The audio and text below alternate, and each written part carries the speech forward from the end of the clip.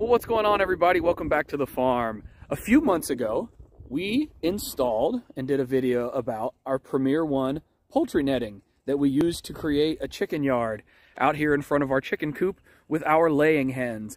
And when I ordered the electric poultry, poultry netting, I also ordered one of the purpose-built gates, electric gates, that comes with, that you can order alongside of the poultry netting.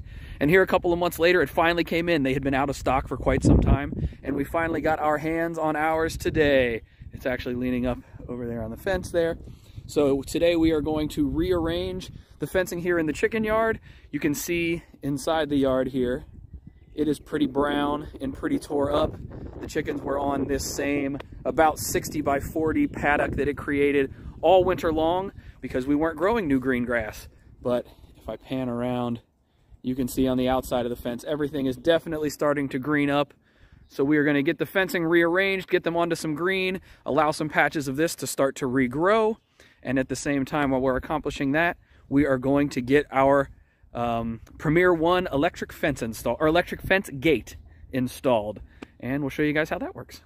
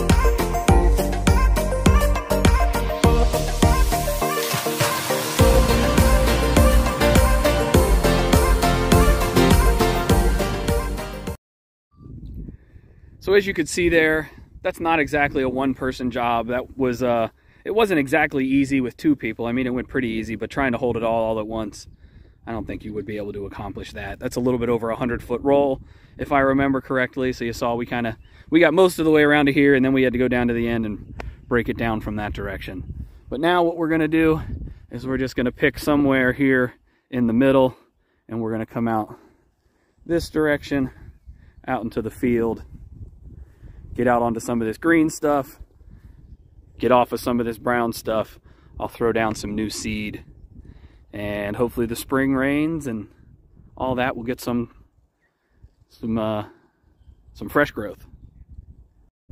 So all I've done so far is this is the terminal post that it comes with and then this is the little uh, I don't know boot or collar maybe you would call it that it sets in. So I just have this. It comes with these two pins. I have that pinned to the ground and I have this terminal post. It has a pin on the end of it. That's into the ground. Uh, I just used a couple pieces of this. This is the string that it came with, that it was all tied up with. I just used that just to give it a little bit of structure up against the coop here. And then all you have to do pretty much plug and play the mobile side of the gate. We'll drop in here. That drops over the top there. So this is your in and out. Come in, drop her back down in, that slips over, whoops, that slips over your post, and then this will stick in the ground, we'll call it, right there. And then we have the tabs, tab on this side, this is where our energizer will connect, and then the tab on this side, we will bring our fencing over, and this will clip to our fencing, and this will energize through the gate into the fencing.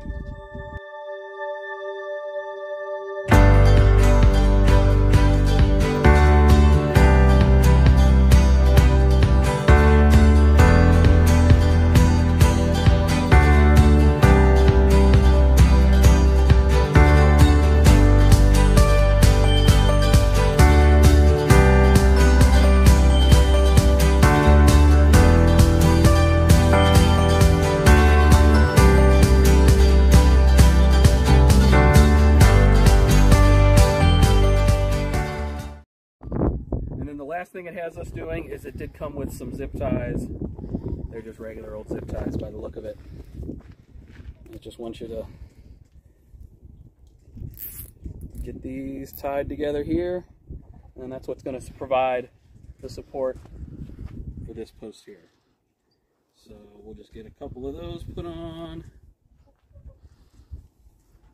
And then we'll move the Energizer over here and we'll get this thing charged up.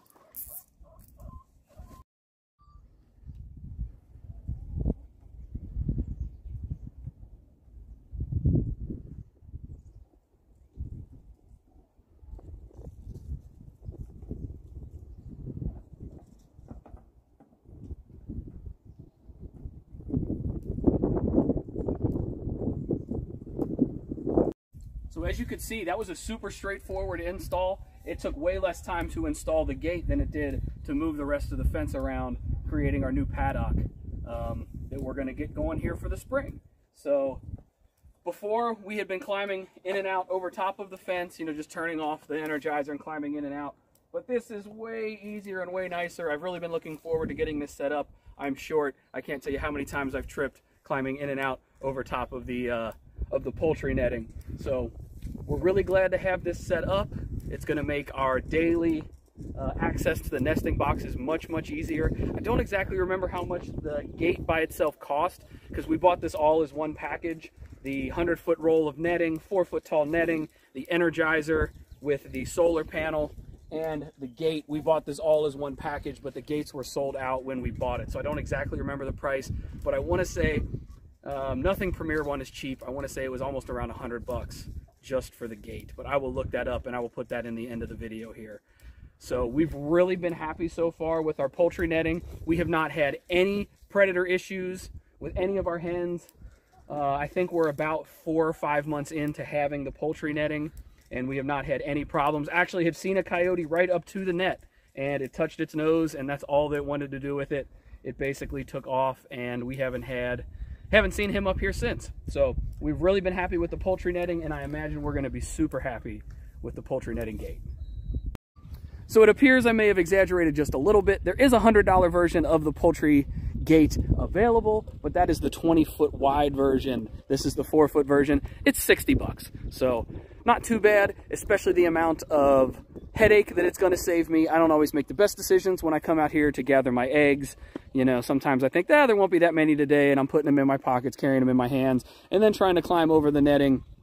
Just don't always make the best decisions. So we're really glad to have the gate installed. It's going to make both my life and Taylor's life much easier when it comes to our daily egg collection. So hopefully you guys enjoyed this video. If you did, think about hitting that thumbs up. Subscribe to the channel for more farm content. And until next time, y'all, we will see you.